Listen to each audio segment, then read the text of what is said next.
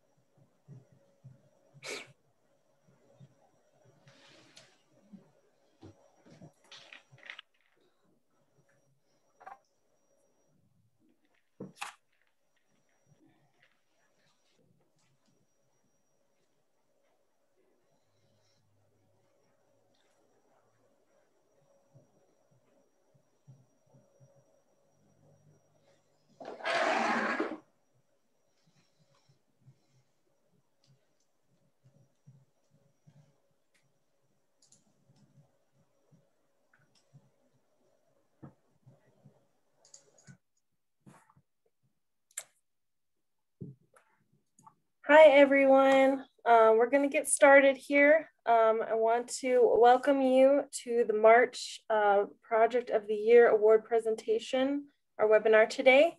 Um, just to let you all know, we are recording this and the video will be posted on the Arizona State section website um, for your viewing later. Couple of announcements. Want to thank you to Y2K for hosting today's virtual event. Thank you. Um, couple of upcoming announcements.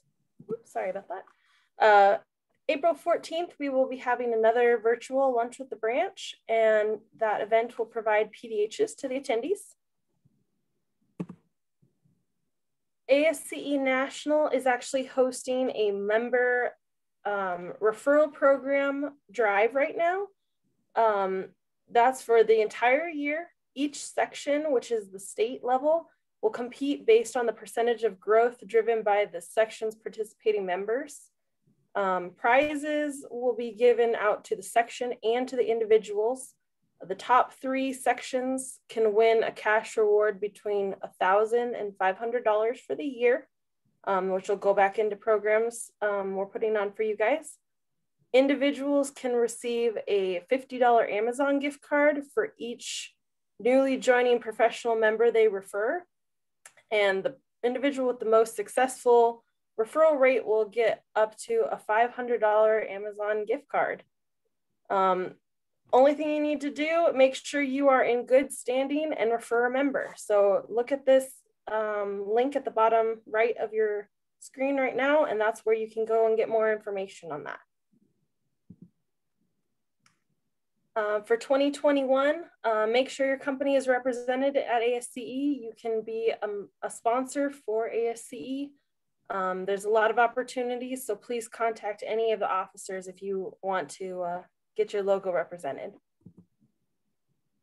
Um, there will be PDHs provided after today's luncheon. Um, give that a day or two and we'll send those out to those in attendance.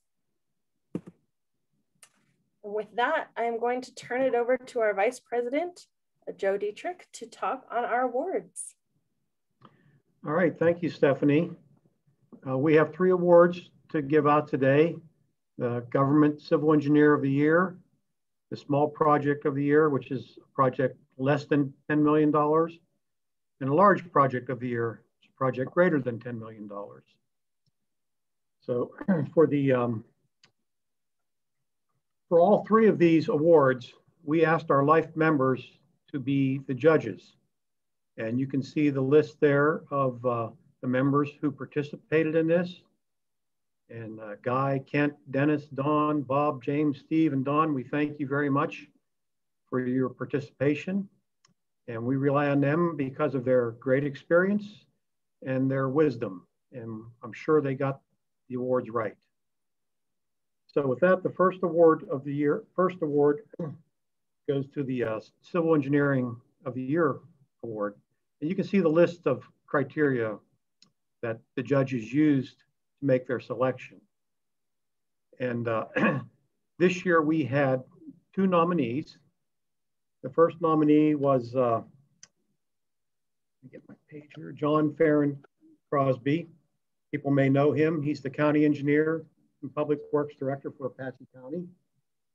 And he submitted, um, an application was submitted for him. It was uh, deemed to be complete and it was uh, very thorough. And he has certainly produced a uh, great record of public service as a civil engineer. But the judges, um, in a very close vote, decided to go with our winner, who was this year Patty Kennedy. Many of you may know her. She's the Deputy Water Services Director, Wastewater Engineering for the City of Phoenix. And Patty had a uh, application submitted and her service to the city of Phoenix and to the civil engineering community and as a whole is outstanding. She's worked on many, many great projects and we are very, very pleased to present her this award for the Government Civil Engineer of the Year. I would hand this to her in person, but we are not in person, so that's not going to happen.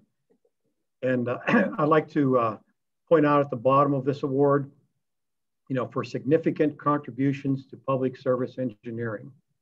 And certainly, I think Patty represents all of our civil engineers who work in public service, whether you work for a municipality, for the government itself, or you work as a consultant who helps out the government. We, um, you know, we're all doing our best to contribute and make this a great society. And Patty is certainly exemplifies everything that fits in that. So congratulations, Patty. So then uh, moving on to our Project of the Year award. The criteria is the same for the small project and for the large project.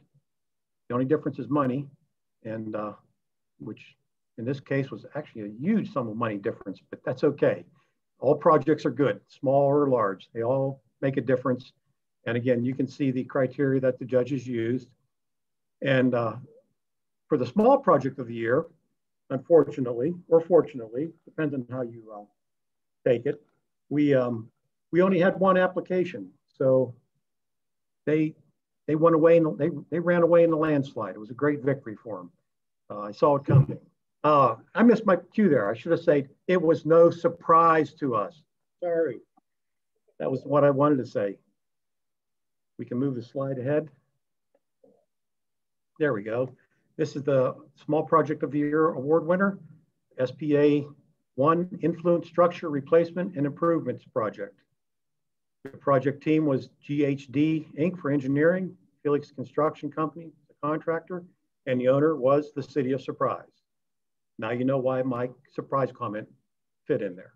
So we are going to have a uh, presentation after we uh, make all the awards by the small project of the year and the large project of the year. So um, I'm sure you should want to stay around and uh, find out what these projects are all about. And again, congratulations to our small project of the year award winner. And for the large project of the year, we had two nominees. Um, and both these, I'm sure, are very, very well known to everyone in the community. If you're not aware of them, then I don't know where you live. Um, the first nominee was the uh, Loop 202 South Mountain Freeway.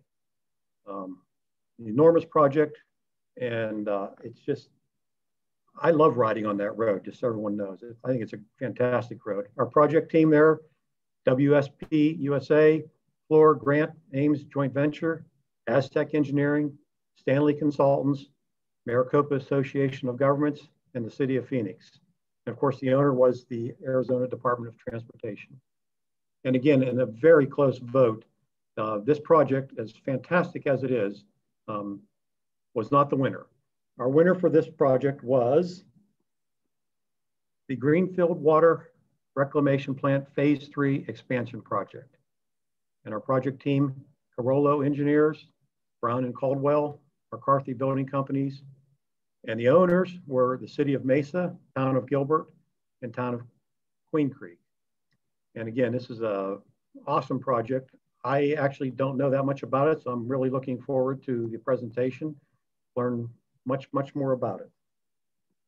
So again, congratulations to our large project of the year. And it was certainly uh, well deserved. And you certainly beat out another fantastic project. So that speaks volumes to what was done here. So with that, we can go into our first presentation, the small project of the year, I believe, right? Oh, we're gonna do a poll question. We're actually gonna do a poll question, um, but again, just huge congratulations to all of the award winners. Uh, we wish we could celebrate with you in person, but soon, hopefully. um, in the meantime, uh, we're going to put on a poll question. Both of our project award winners are water projects. So, a question we have for all of our membership, everybody online um, What is your largest concern regarding water in Arizona right now? Um, if you can fill this out, um, we'll, we'll put up the results and see what everybody's kind of worried about. Um, is it resiliency, scarcity, quality, or everybody thinks everything's okay right now? Uh, I'll give you guys just a sec to look at that and hopefully click an answer. Then a couple more seconds.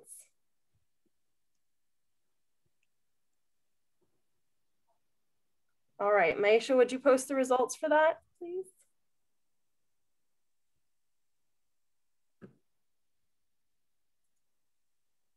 So it looks like about 53% of you guys that answered say resiliency is probably your largest concern. 25% say scarcity, 22% say quality, and surprisingly enough, in Arizona, everybody does not believe everything is okay. So That's thank a good you guys. thing. right? Exactly. I'm glad everybody has that engineering mind and worried about the future, of what's coming on. Um, thank you for posting that. And with that, um, I will turn it back over to Joe to introduce our, our project teams um, presenting. We do have a Q&A function on, on the screen at the bottom of your screen. You can type in all of your questions. We will separate them out between small project and large project, and we'll make sure that they get answered for you. So you can use that. And with that, I will turn it back over to Joe. Okay, we're going to uh, start with the small project team and uh, Frederick Tack, excuse me, from GHD is going to uh, introduce his team and tell us a lot about this project. So take it away, Frederick. Excellent, thank you. I'm just gonna share my screen here and bring up the presentation. Can everyone see my screen? Or someone let me know? Yep, fine. That's good. Excellent. All right. Well, first of all, I, would love to thank uh, both the ASCE Life members uh, for participating in the awards and for the board for uh, hosting and providing opportunities um, to help get projects and clients recognized for their investments. Uh, definitely noted the you know difference in uh, dollar value between small and large projects. Joe, I appreciate what you said. Every project's important and I, I, think that's a mindset that as civil engineers that's something we specifically take the time to look at for each project. So we're happy to share with you uh, today uh, this project done for the city of surprise. With me today is uh, greg who was the pm for the city of surprise myself the pm uh, for the engineering and then dave gianetto who's a principal and was the pm for felix construction. Um, um, uh, first thing I'd like to do is turn it over to Greg to maybe share a little bit about uh, the purpose of the project and uh, any expectations. So, Greg. Okay, thanks, Frederick. Um, hi, I'd like to thank the ASCE today and uh, GHD and Felix for getting us the award. Uh, um, I was the uh, project manager of the site that you see there prior. Um, it was a brand new public works building, and we basically had to work around that junction structure that we had there and that picture. Could you go back to the other photo, Frederick? Sure. And you can see where the asphalt was replaced there and all. So we had to basically stay out of this section of the project. And then they handed me this junction structure literally after I finished the public works building to um, find out why the sluice gates weren't functioning. We, we, you know, we took a look inside from up above, about 30 feet up above or 28 feet and we could see inside that there was a lot of corrosion. We just had the sluice gates repaired about three years ago, but they just oxidized out and just wouldn't function again. So it was the job was given to me to get with you know to get the right engineering group and contractor on board to to fix the the issue. I brought GHD and Frederick in to do the initial evaluation and uh, what we needed to do as far as um, you know, for repairs or what, what, what was our best course of action and how bad was the junction structure from not 28 feet above, but as you can see in one of his photos, they went right down in there and took a look. Um, he came back with three different, four different uh, options and uh, we chose one option. We then chose uh, Felix to come on board as a contractor. We all worked as a team to get it permitted and planned up and these guys actually GHD and Felix made it probably one of the easiest projects any PM could manage for sure. So after that, it was just, uh, you know, these guys knocked it out. No injuries. It was a safe, well done project. We did some bypassing for a couple months. Uh, we, we are going back to do some other um, lining, I think, here in the next fiscal year. But uh, everything just worked out really well as far as the owners were concerned. We couldn't have gotten a better job. And then we were even more happy when we heard we had won an award, but we didn't know we would win it so easily. So um, it was uh, it, it, was it was a great job working with GHD and, and Felix. So so uh, with that, I'll give it back to, to Frederick. Yeah, well, thanks for that, Greg. Um, so uh, just a little bit of insight on the project. Uh, this was to support the uh, City of Surprise Spa One water reclamation facility. It's an 18 MGD facility. Um, it's the area on the image on the left um, in the red lines that serve the plant, and that plant is in the bottom right-hand corner. Uh, basically, in short, there's two ways to move uh, raw wastewater into the treatment plant, uh, one on the west side, which is where this project is located, and the other on the east. The important thing about this connection and conveyance corridor is it conveys about two thirds of the wastewater from the service area. So it's a highly critical connection. There's no, uh, you know, real redundancy to it. So uh, when Greg invited us in to take a look, uh, you know, we understood there was uh, basically some functionality loss of this structure. And um, uh, very wise of surprise. They wanted to take the time to actually uh, determine what is the root cause. And I think as we've, you know, all learned in engineering, the true cost, the largest cost of a project is that long-term operations and maintenance. It'll far exceed the, you know, initial capital investment. And that's part of the ASCE grand challenge is figuring out how to lower the overall cost of service um, to be able to sustain our infrastructure so with that, we, we really took that approach in evaluating this project to figure out what was the root cause. And that's a little bit about what I want to share with you today. So, uh, you know, the first thing that was needed to, was to really get um, not just eyes on, but hands on and equipment on and technology on to really be able to quantify what this is. So in short, there's two wastewater collection lines that come together in this um, uh, concrete reinforced junction structure. And as you can see in the image on the top left, it's about 40 feet deep, about uh, 25 by 30 feet. And um, it has this wastewater flow coming into it from two different size pipes, um, um, uh, 36 and 48 inch, and they uh, commingle into a 54 inch pipe going out. Um, uh, first of all, getting in there to do the actual assessment, this was a live sewer assessment. Um, there was not the ease of ability to uh, isolate these flows. So we had to study the structure and the flow conditions, uh, both through modeling and observations to determine when the low flow was, uh, monitor air quality conditions to be able to get our inspectors in there. And of course, we ended up doing it in the middle of winter at three in the morning when it's as cold as it ever gets here in Arizona.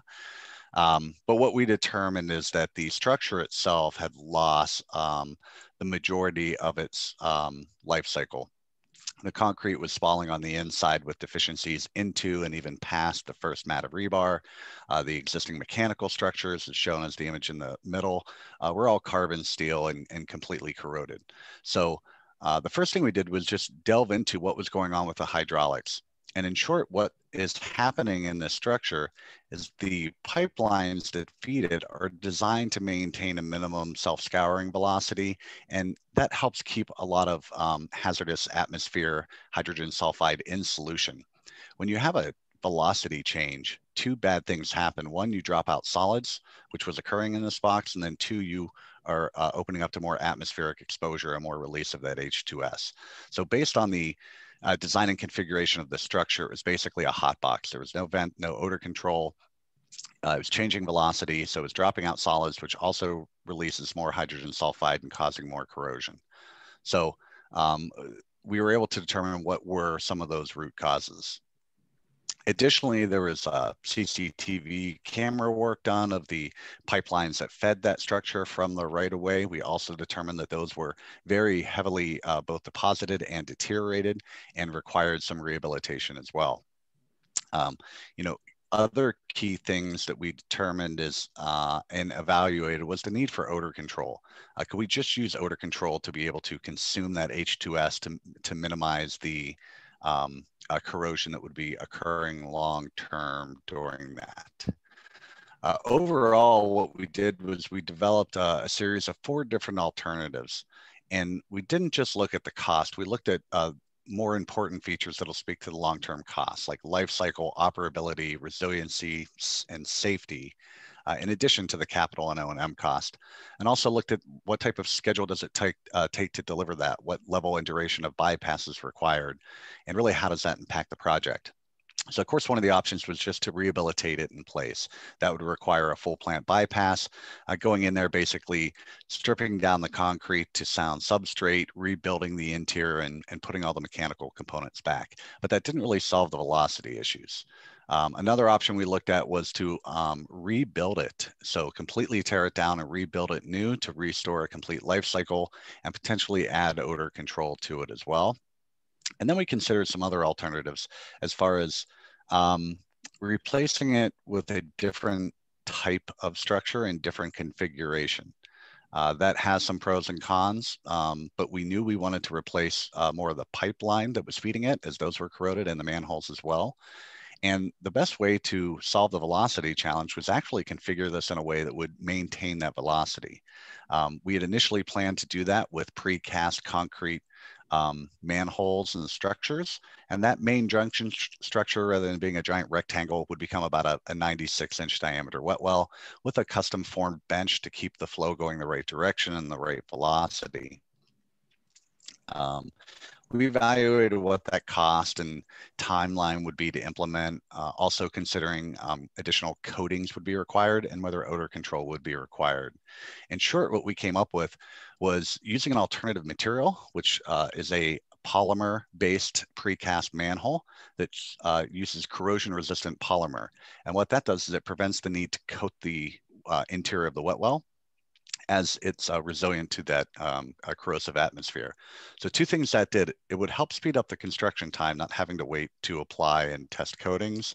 And three, the long-term operations and maintenance, it would alleviate the need for the operations team to go back in and evaluate and recoat possibly uh, you know, uh, periodically throughout the life cycle. And with that, we were able to demonstrate there was a slightly higher cost in the uh, materials to do that, but overall it would provide a better long-term uh, operability, life cycle, and overall cost. So to talk a little bit about the construction of the project, I'll turn it over to David.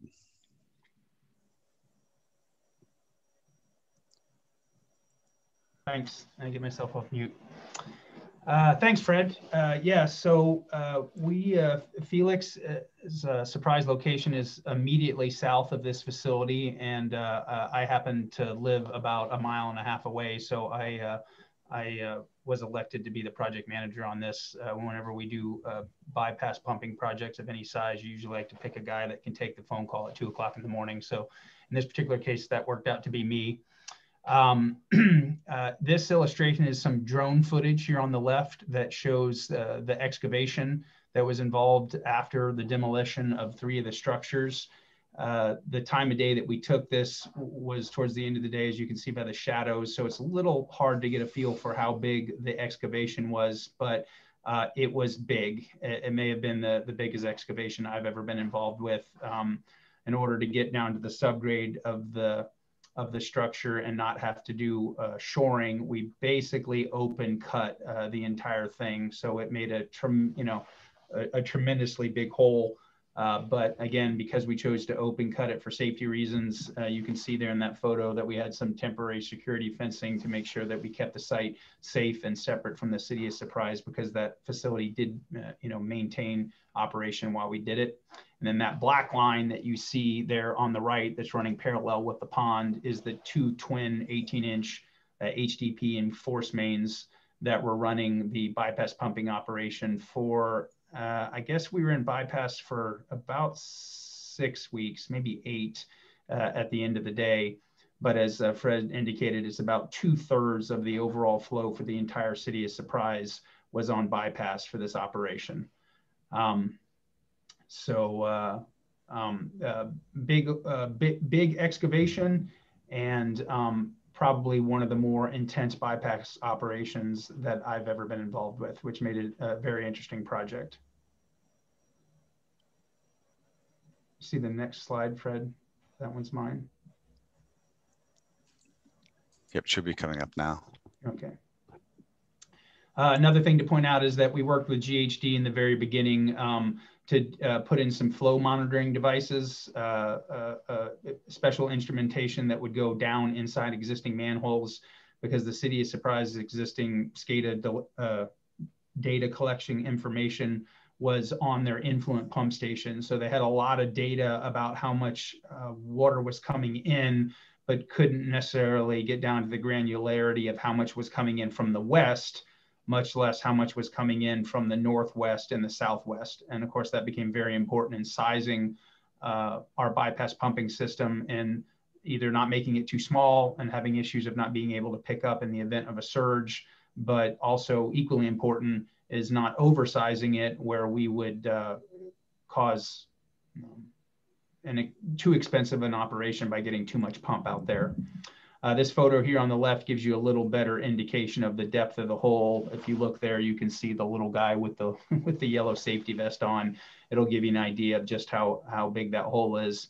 And that particular photo is us flying in the first piece uh, first piece of 54 inch uh, SDR um, uh, SDR 22. What did we put in here, Fred? I can't remember. But plastic uh, so. instead of ductile yeah. Uh, for the very first piece that would connect to the existing system.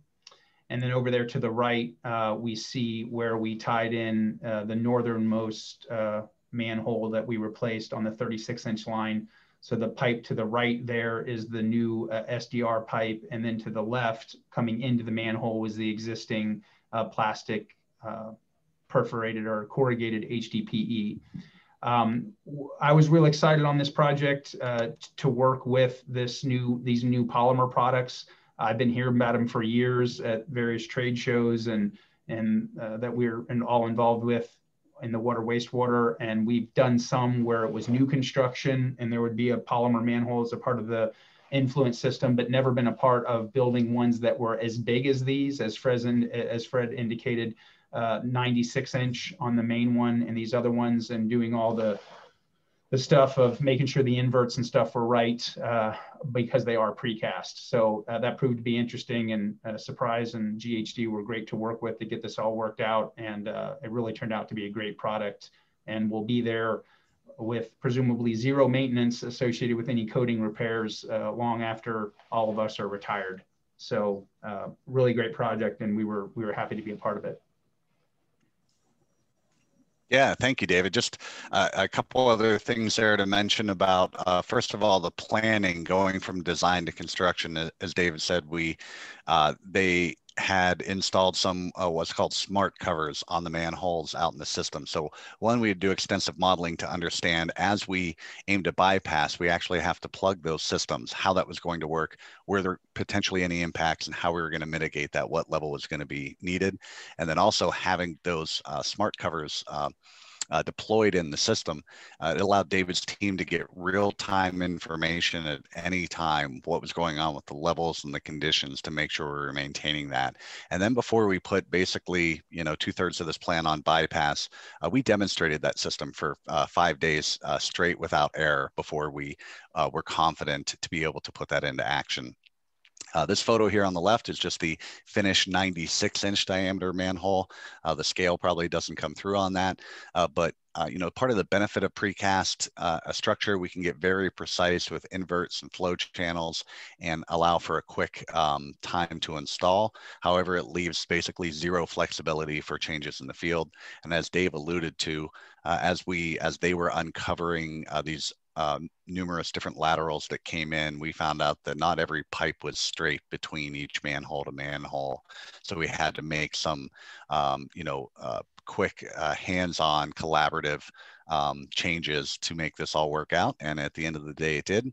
Uh, being able to restore the uh, life cycle, improve the performance and resilience. And uh, with that, we are uh, thankful for the city of Surprise for giving us the opportunity. Greg, anything else you'd like to add? Um, no, Frederick, I'm good. Thank you. Uh, okay. Fred, if, uh, if I got two yeah. seconds just to add on to your sure. comment there, one of the things that made that possible was the particular vendor that we worked with here on these polymers was uh, is out of Las Vegas. Uh, so when we got down to the actual conditions and were able to uh, uh, shoot the inverts of the pipes that weren't quite where we thought they were going to be, the fact that they were so close gave us the ability to sort of make last minute changes before they went into production and um, get sort of a, a very customized product uh, literally four days after we gave them the information. Um, you know, two days to make it and, uh, and a day to get it here. Uh, uh so it worked out very well uh, for this project because of our proximity to, to Las Vegas where these particular products were made. Do you, do you guys remember yeah, the warranty? Great comment. From Armorock? I want to say it's 50 years, isn't it? Yeah, I, uh, Fred? I was looking, I couldn't uh, I, I, believe that's the stated uh, life cycle for it. I'm, I'm not certain if that's the warranty though. Great. Well, thank you guys. Um, Yeah, we did have you. a couple of questions come in, so I, I'll read those out to you and whomever wants to take the question, um, that'd be great. Um, I think you already touched on the warranty one. Um, there was a mention of odor control that was placed on the structure. What type of odor control was utilized? Oh, so we ended up not placing odor control uh, on the structure. So that was something that was evaluated. Uh, we did evaluate uh, both a um, carbon and a biological type odor control system. Um, however, based on uh, changing the configuration, which would keep more of the H2S in solution and maintaining that velocity, therefore just uh, keeping that flow, both the water and the H2S moving downstream, we determined it wouldn't be a, effective or have a, a, a realistic uh, return on the investment. So no odor control was added at this structure. Um, what was the most difficult obstacle you had to overcome with the project? That can go multiple ways, depending on who you're talking Dave, I, to. I, I'd love to hear yours, Um, your thoughts. Uh, b- bypass pumping is a is just a scary proposition, um, and it it really to Fred's initial comment uh, about engineering and the municipal customers that we all work for making decisions uh, that are long term ones. Uh, really, sewer wet wells and coatings are really one of those that hit hits home so clearly to the contracting community that ultimately has to be responsible for putting in the bypass pumping and having the 24 hour pump watch and everything that goes with with bypassing a sewer lift station or in this case you know a structure um, that uh, the expense and the stress and everything associated with that um, was probably the biggest thing on this because again it's two-thirds of the flow coming into the city of surprise and as we all know you can't turn gravity off so um, uh, my stress point was two thirds of the city of surprises uh, gravity flow.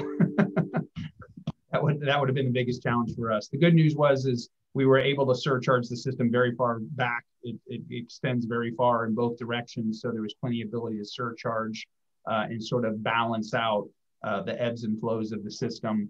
As Fred pointed out, we ran the system uh, for five days to kind of make those tweaks, monitor it with the smart covers, and get all that dialed in before we ever reach the point of breaking into the structure and, and reaching the point of no return.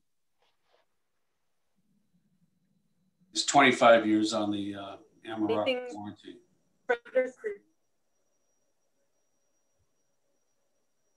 Awesome, thank you. Uh, anything, Frederick or Gregor, you want to add to that the last comment? Nope, I think last that was a good response. Thank you. Great. Um, why open cut the excavation for the JS versus shoring? You mentioned safety, or is there a cost difference or something like that?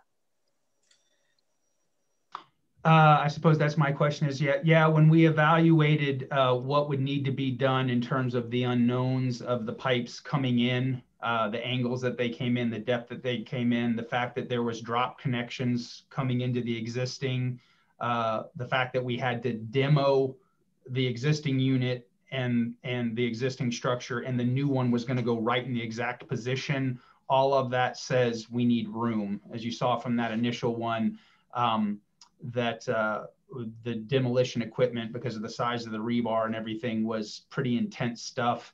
And to be frank trying to do that in the confines of uh, box excavations or uh, like piles or anything just wasn't going to work out to be uh, cost effective.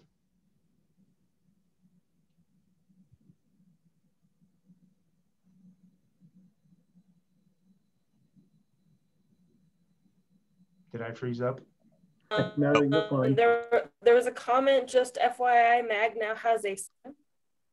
And then assuming the PDC SDR pipe was for pressure pipe, what was the plastic gravity pipe deflection limit at that type of depth? Hmm. Um, if I if I recall, and again, this is just uh, recalling from it, our um, if you're talking about deflection and angles of how it was seated, I know that's less than one and a half degrees. If you're talking about actual deflection of the pipe from weight, um, we chose the thickness based on loading calculations, so we would achieve uh, achieve less than half an inch deflection. And as measured and survey in the as-built, we we uh, achieved no deflection on that pipe from the loading. And again, going to that whole thing of being able to just get down there, put the pipe in, shoot the actual center line, and then give that information to the supplier to have them finish up the connection and ship it out. Uh, we basically designed it and put it in. There was no, we had no wiggleness. We didn't really need any flexibility, horizontal or vertically, based upon our ability to dial in the connection uh, of the bases. Well, I think that's all the questions we have right now for your project. So again, congratulations to you. Thank you all. Thank you, very much. And I'll turn it back over to Joe real quick. Yeah, now we'll have our large project of the year presentation. Uh, Russ Walker from uh, Carollo will provide that presentation and Russ we'll let you take it away. Great, thank you. Can you guys see my screen okay? Yep. Well, great. Um, first, I'd like to thank the Arizona section of ASCE and the lifetime members for this great award and, and recognition. Uh, we're on behalf of the team, we're very appreciative and, and humbled to receive this honor. Um, th this was a real pleasure to work on this project. Um, and I, I, hope I can do this project justice in a, in a 10 or 15 minute quick overview because uh, it was a complex design and construction project, a lot of different elements, a lot of uh, key stakeholders and, and teammates. Um, so we'll kind of give a general overview, but happy to answer any questions. Um, really, the overarching focus and the theme of this expansion project was really about maximizing value through optimization and collaboration. And let me expand on that a little bit more as we go through the presentation. But real quick, for those of you that don't know me, just a little background on me. I've been in the water industry for almost three decades. I've been here in Arizona for a little more than two decades. Uh, during my tenure here in Arizona, my focus has really been on integrated project delivery, both uh, construction management at risk and design build. And I've had the pleasure of delivering uh, several large uh, wastewater treatment plant CMAR projects here locally, uh, including this project that we'll talk about today. So I mentioned that the overarching goal and theme of this project of maximizing value through collaboration and optimization. And the success of the, of the delivery of this really came down to maintaining a clear focus around these three critical project objectives.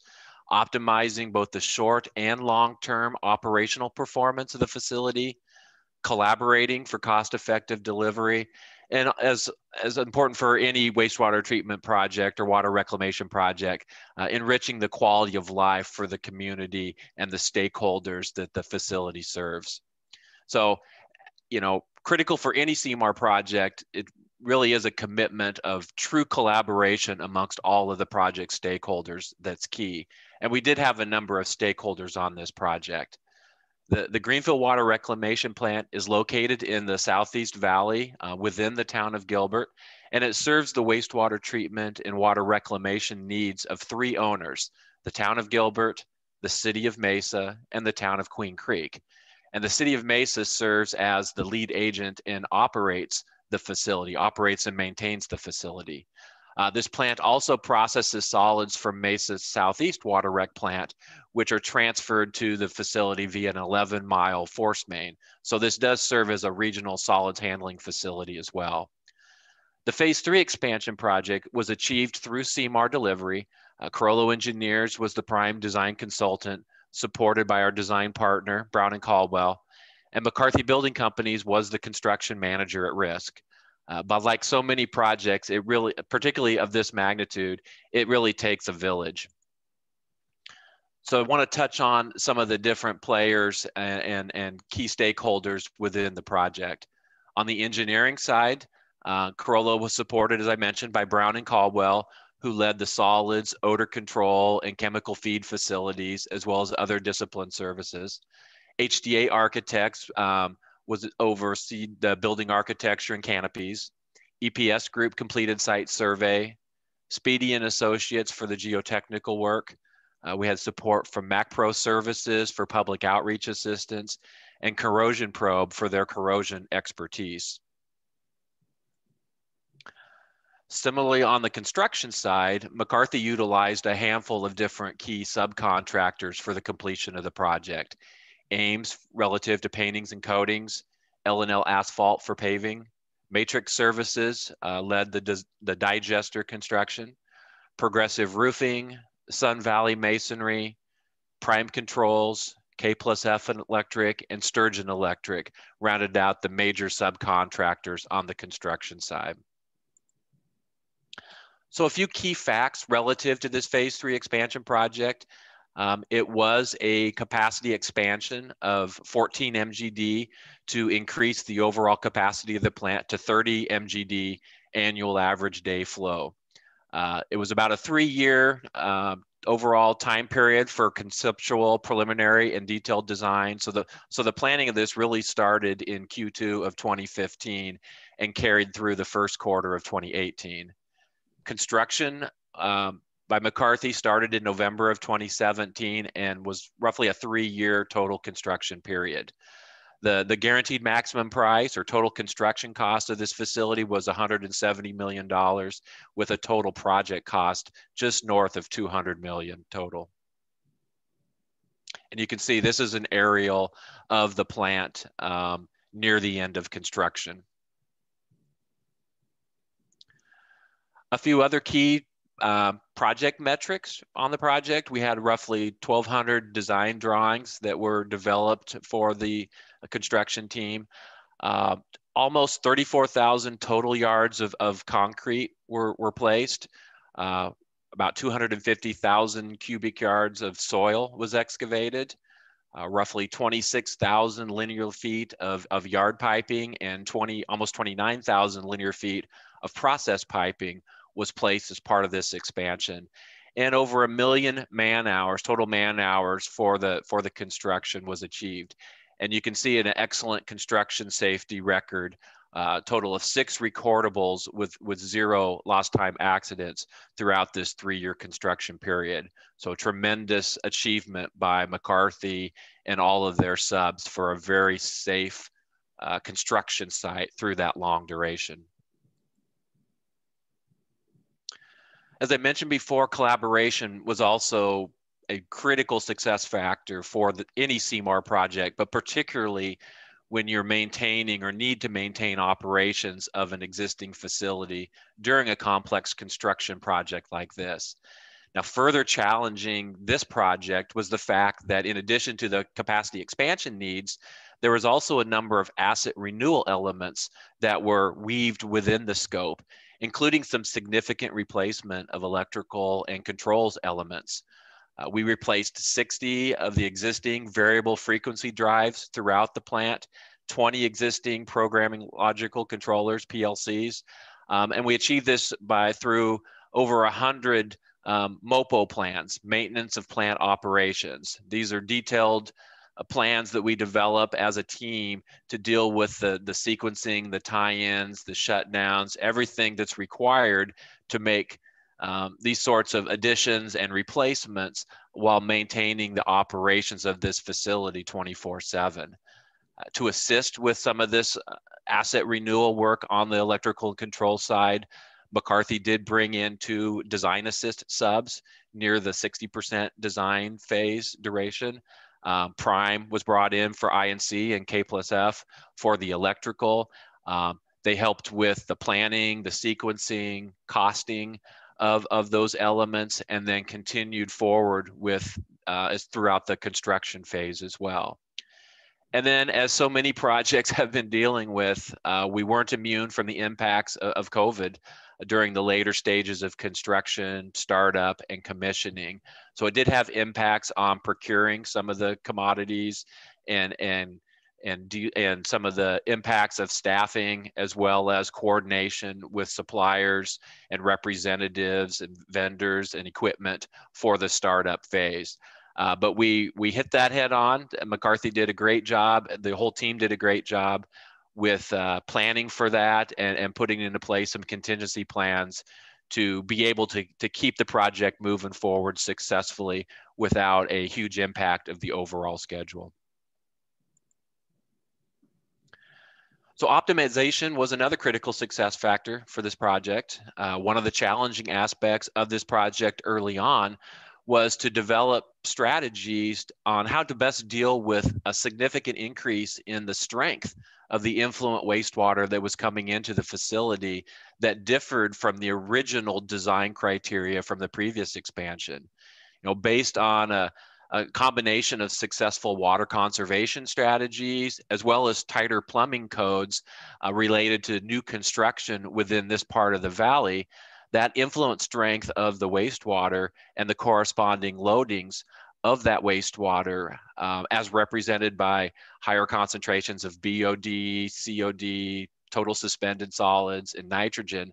Um, it really required the overall team to strategize on how best to meet some of the technical challenges because of this increased loadings and do so within the specific budget constraints that the owners had.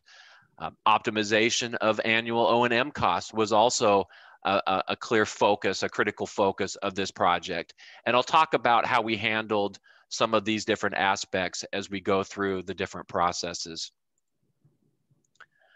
So this is a process flow schematic of the Greenfield plant showing both the liquids and the solids treatment train that's employed at the facility.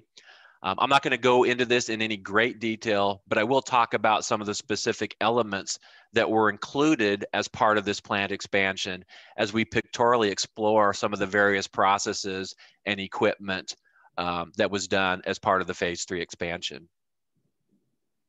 So let's start with the upfront part of the plant, the preliminary and the primary treatment elements. Uh, for this expansion, we constructed a second headworks facility at the site for influent screening and pumping, very similar to the existing headworks facility that was there. Uh, this facility included two new um, screens, influent screens with washer compactor units, um, as well as the addition of two new 16 MGD influent pumps uh, with variable frequency drives. The Headworks facility also followed by a new primary clarifier, number three, um, similar to the two existing ones, 140 foot primary clarifier unit that had a corresponding primary sludge pump station. And then also included some, some odor control. So you can see several pictures here uh, up top of the screening facility, the primary clarifier dome cover uh, going in um, sort of clockwise, the, the odor control on the bottom right and the influent pumps in a, in a dry pit arrangement on the bottom left. And here's some other photos, uh, post-construction photos of the preliminary and primary treatment, some of the screens and the influent pump station dry pit, the primary clarifiers, as, as well as uh, Headworks electrical control building, a new electrical building that was constructed to house a lot of the electrical gear, starters, uh, the VFDs associated with this new headworks and, and primary treatment facility. So moving from the preliminary and primary treatment to the secondary treatment train, uh, the secondary treatment is really the heart of, of any plant. And to reliably meet the nutrient removal requirements that this facility um, has, and to handle that increased wastewater loading that I mentioned previously, the team did have to pivot somewhat from the existing process train. Um, so for the phase three expansion, we did construct two new aeration basins, similar in size and layout to the to two existing aeration basins that were constructed under the previous expansion. Uh, but we did make some changes to the overall process to accommodate that increased wastewater strength.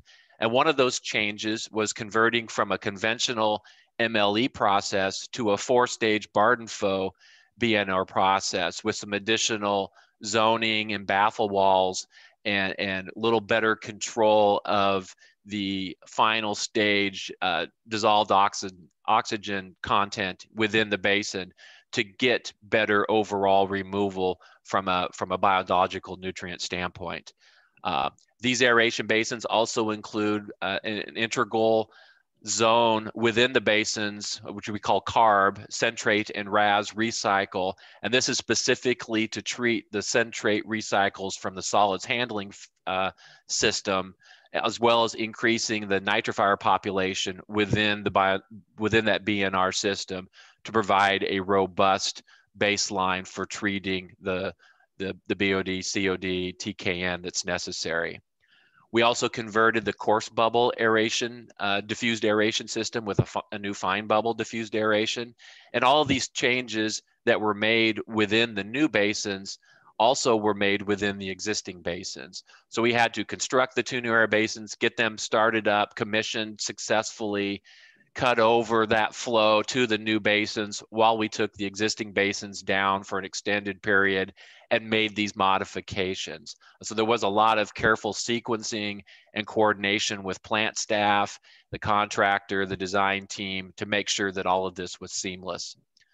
In addition to the aeration basins, we also constructed three new 120 foot secondary clarifiers as part of the secondary treatment system as well as a new RAS scum pump station integral to those clarifiers and made some changes expanding the secondary odor control system, a carbon activated carbon system that treats the foul air off the top of these aeration basins. So again, a few photos of the top of the aeration basins, photo of the fine bubble diffusers within the aeration basin and the secondary clarifiers. And a couple other post-construction photos of the the aeration basing uh, process and air piping, the, the secondary clarifiers with the covers installed, as well as a nice photo um, as one of those covers is being craned in um, on the secondary clarifier.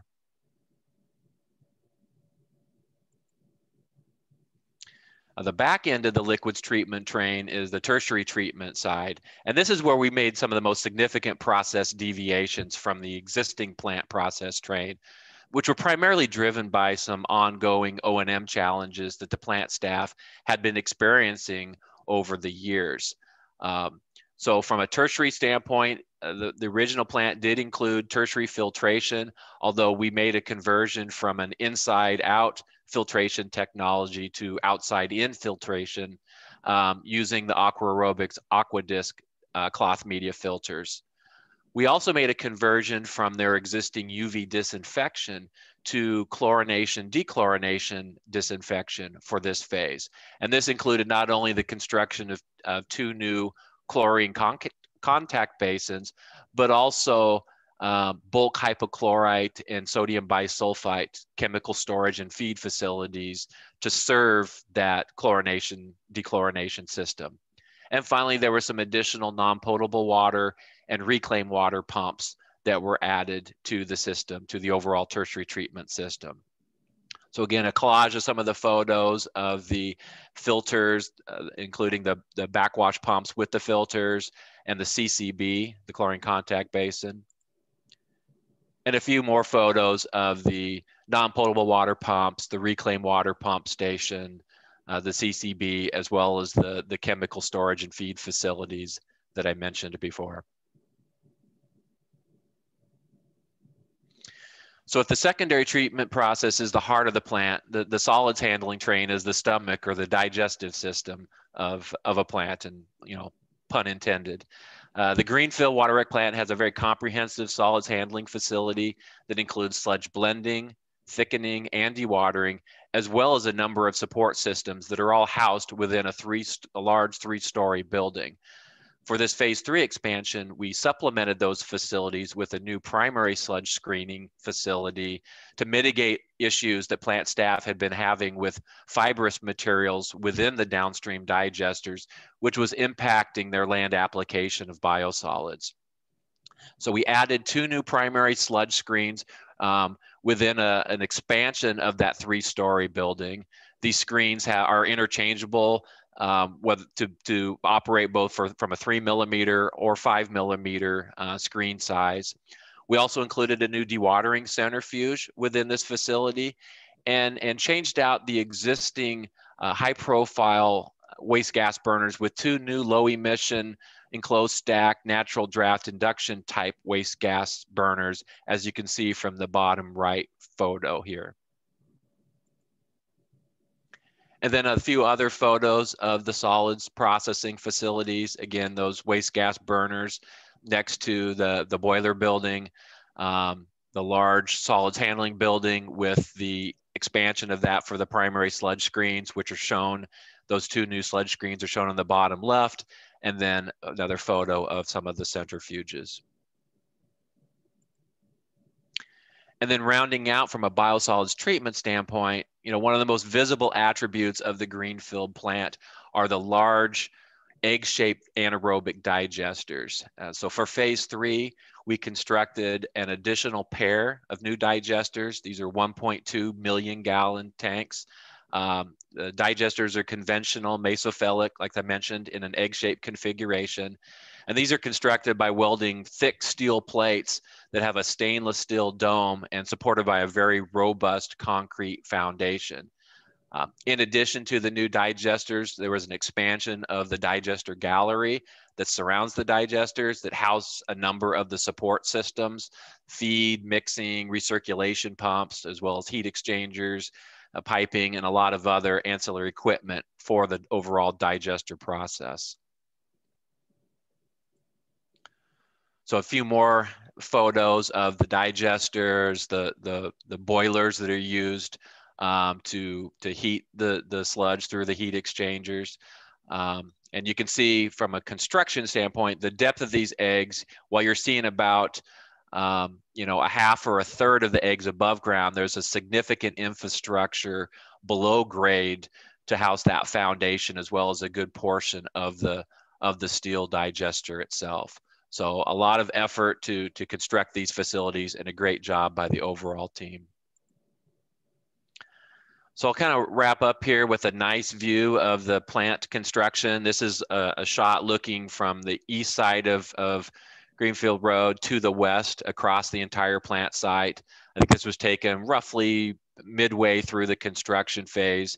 You can see the the new aeration basins being constructed uh, in the foreground here with the clarifiers and then the digesters behind that.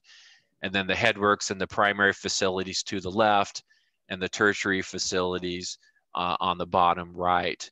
And, um, you know, again, a great effort, overall team effort by a lot of different stakeholders. I know a number of the of the uh, project team, my partners, the the owners are participating in, in today's call. So really want to thank them for everything that they did contributed to this project. As I said in the very beginning, it really takes a village to deliver a complex project like this, and this project was no exception. So with that, I think we've got some time, hopefully, for a few questions if anybody has them. Great. Yeah, we actually did have a couple of questions, Ross. Um, why move from UV to chlorination or dechlorination for disinfection? It's a great question. Um, this was, as I mentioned, um, brought up by plant staff who were having um, some issues with the existing UV system from a cost standpoint. It was um, an intensive in terms of bulb replacement and, and just general maintenance. So we did a, a, life cycle cost analysis during that conceptual design phase, uh, looking at you know expanding that facility as well as evaluating other technologies. And the chlorination dechlorination system was ultimately selected by the owners uh, to move forward with that for this expansion. Um, where does the reclaimed water go after the treatment? another great question. Uh, each of the three owners have uh, different uses for their proportionate share of, of the reclaimed water. Town of Gilbert has a uh, sort of a reclaimed water reuse distribution system. Um, so there is actually, they constructed a 5 million gallon reservoir adjacent to the plant. And so they're pulling off a portion of the reclaimed water flow and they're uh, distributing that within their system. Some of it goes to recharge, some of it goes to direct reuse or irrigation of, of golf courses throughout the town. Um, City of Mesa, um, they uh, developed an intergovernmental agreement with the Gila River Indian community, and they exchange a portion of their reclaimed water or in exchange of, of the reclaimed water that they deliver to the Indian community, uh, they uh, get a, uh, a, portion of uh, credit for CAP water from a water supply standpoint. And then the town of Queen Creek um, is also engaged with Gilbert and, and Mesa relative to delivery of their portion. So some of theirs is going to reuse, and they're looking to expand their, their reuse and recharge uh, capability moving forward. So it has a number of uses for all three of the communities. Um, who was the structural engineer? So the structural engineering was done by Carollo and, and Brown and Caldwell uh, in-house. Um, again, Carollo focused more on the liquids train, Brown and Caldwell on the solids train. So uh, the portions of, of the work split, we each did our own structural engineering. Um, why burn off gas versus biogas applications? So we evaluated uh, cogeneration exhaustively. This was evaluated during the phase two expansion uh, and again evaluated during the phase three expansion.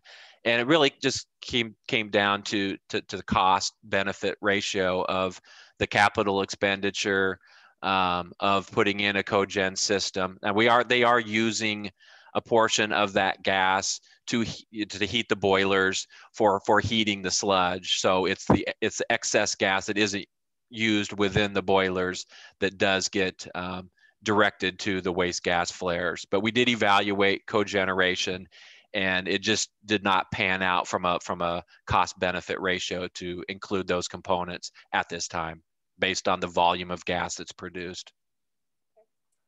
Um, last question I have is what was the most difficult design obstacle you had? Um, I think one of the most difficult obstacles was the fact that this was an operating facility and we had to take that into account from the very beginning, particularly some of the EI and C components that I mentioned, the, re the replacement of the VFDs and the PLCs. I mean, this was the construction of this facility was was really like doing open heart surgery and brain surgery concurrently. And it required a lot of planning, a lot of close coordination, a lot of patience by plant staff. Um, and that was probably the most difficult aspect of making sure that we had the necessary sequencing and planning in place to not disrupt plant operations throughout this three years of construction. And, and a great job by all of the parties and stakeholders that were involved in that effort. All right, well, that is all the questions I have. Again, congratulations to all of our award winners. Um, thank you so much for, for giving your time to present to us today. And thank you to all of our membership that uh, tuned in and hope to see you guys at our next webinar next month. Thanks, everyone. Thank you. Hi, thank you.